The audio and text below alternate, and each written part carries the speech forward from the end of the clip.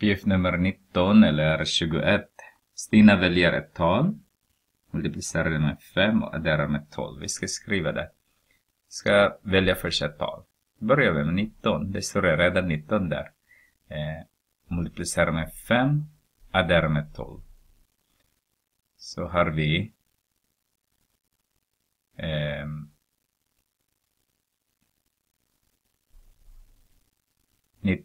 multiplicerar med 5, det blir 20 gånger 500 minus 5, 95.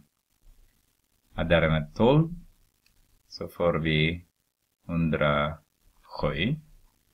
Och sen, vad skulle vi göra?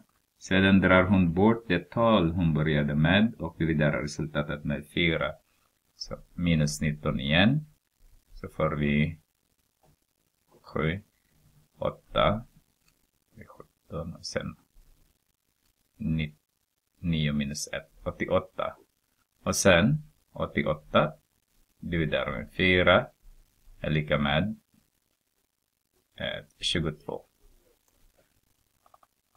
Eh, då upptäcker hon att det tal hon fått fram är större, tre större än talet hon startade med. Hon säger för sig själv, jag tror att det alltid blir så, vilket tal jag än startar med.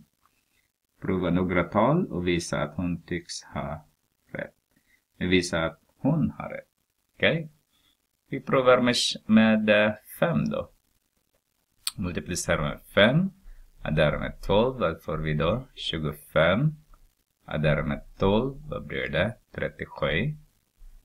Minus 5 är 32. 32 dividerar med 4 och då får vi 8. Och det är 3, tre gånger. 22. 22 minus 19, den där, är 3. 8 minus 5, det är också 3. Okej. Okay. Ska vi prova. Eh, 10 multiplicerar med 5, adderar med 12 är lika med eh, 50 adderar med 12, 62 minus 10, det är 52. 52 dividerar med 4 är 13. Oj, det var faktiskt bra. Ska vi titta nu då, allmänt säger jag. Så x adderar med 5, äh, multiplicerar med 5, adderar med 12. Så. Uh, och sen, då får vi 5x, adderar med 12.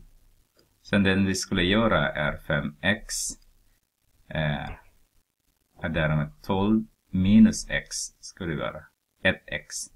Alltså x är det första. Det första tal, äh, det talet som vi har tänkt.